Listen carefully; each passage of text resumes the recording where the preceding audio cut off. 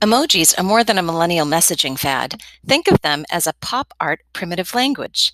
The tiny characters represent the first language born of the digital world, designed to add emotional nuance to otherwise flat text. I thought today it would be fun to make some emoji nonverbal cues for our many, many, many Zoom and FaceTime calls that we're on nowadays. You could use these with your family on calls or in the classroom, if it's okay with your teacher. Instead of blurting out or interrupting, you could just use an emoji sign to show how you're feeling. So let's get started. Today, I chose five different emojis to make. Love, sad, excited, laughing so hard I'm crying, and thinking about it. For supplies today, you'll need paper, scissors, a circle template. I'm using a soup can, pencil or juicy Sharpie, some coloring utensils. I'm going to be using some markers. You'll need tape and some sort of stick, like a popsicle stick or old pencils. To begin with, we're going to use a, our circle template. So today, um, I actually had to go to a soup can so that all of those circles would fit on one piece of paper. So you hold it with one hand and you trace with the other. Excuse my hand. Come around. And you're going to have a circle. You're going to do that five times. Now it's okay if they don't come out completely perfect. We're going to be cutting these out, so don't worry about that. I am actually going to use a pencil for um, to sketch these out first. And if you guys remember, we always use a whisper of a pencil in case you need to erase something um, if you make a mistake. So I'm going to start with the love emoji. So I'm going to make two giant hearts for the eyes, like so. So there are my two hearts, and obviously a big smiley face.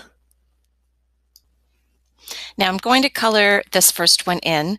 I always like to start with yellow if I'm using yellow so that it doesn't mess up the yellow marker if I go over another color. We don't want to sully that marker. So I am going to just color in my whole emoji face. I'm going to avoid the heart areas. I love a good juicy marker. You guys all know that. And if you go outside the lines, it doesn't matter because we are going to be cutting these out. So there's my beautiful happy smiley face. And now I'm going to use my red juicy marker and I'm going to color in my beautiful red hearts. And you could use even use just a plain old black marker. I'm going to use a Sharpie um, to do my big smiley face. There's Next, we'll create our sad emoji. And it seems a little funny, but um, I am going to start with two smiley faces, smiley lines. So for the eyes, I'm going to do two smiley lines like that. And then I'm going to give it some sad eyebrows, two diagonal lines like that. And then just a straight line to give it that sad look. Not technically a frowny line, but I don't feel so great line. And then again, I'm going to color it in. And since I used Sharpie to start with, I can just go directly over that. It won't smudge or smudge. Um, Sharpie is a permanent marker. My excited emoji has those two hands like, oh, I want to hug you. So that's a little bit more complicated. I'm going to go back to the pencil because maybe you might make a mistake and that's okay. We're going to start with the thumb line. So your thumb would look like that. And then we would have your five fingers and it comes right back to join with a point. And we're going to do the same thing on the other side. The thumb line is a little shorter. And then four fingers and meet back at the end. Next, we are going to do just the basic smiley face. And for the eyes, the opposite of our last one, we're going to do two frowny lines to make those eyes. I'm going to trace over this with my Sharpie. Now, hopefully, if you had did, done this in pencil, you could erase that line right there, but I did it in Sharpie so you could see it better. We'll just pretend I did, right? And I'm going to color this bad boy in just like that.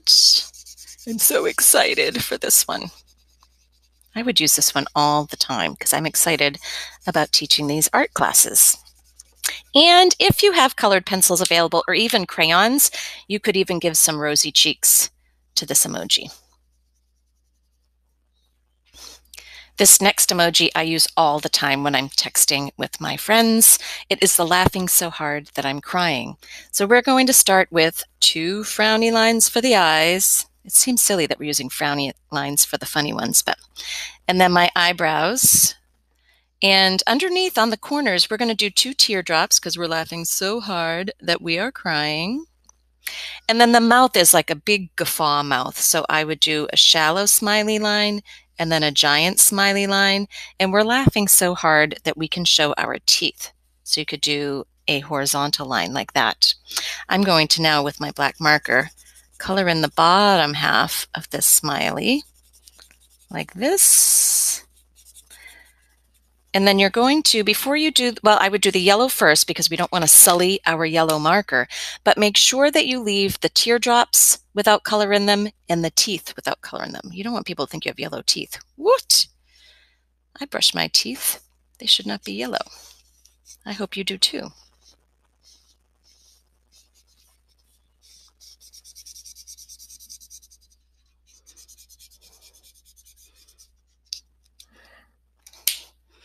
And now I can take my blue and I can fill in those teardrops with the blue color.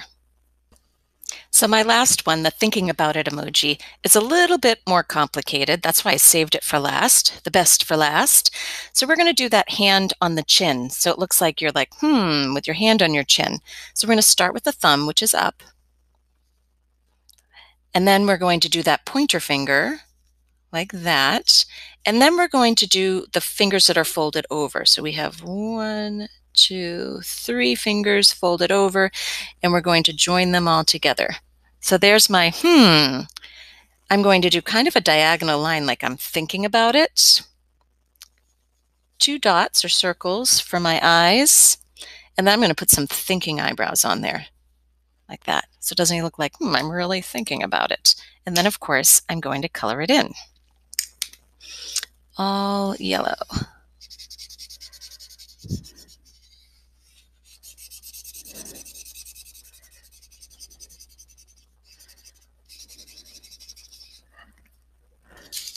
Now we're going to cut out our emojis. And if you guys remember that analogy from when we were in school, I like to think about cutting like a car on a road. We're going to be driving our car and we drive our car very slowly and we stay on the road. If you drive too fast, you go off the road and we don't want that. We don't want any accidents like that. So take your time, stay right on the lines, and cut all five of your circles out.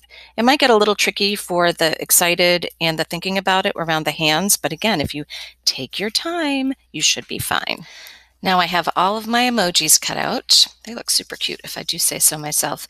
And so we're going to flip them over and on the back side, we're going to tape our either popsicle sticks or pencils or whatever you have that would um, work and tape them onto the back side. Now I would make sure that they are going straight up and down so that you don't put them on so they're a little wonky. We don't want any wonky emoji emojis. So here is my emoji. Here's some tape. I'm going to tape all those on like so.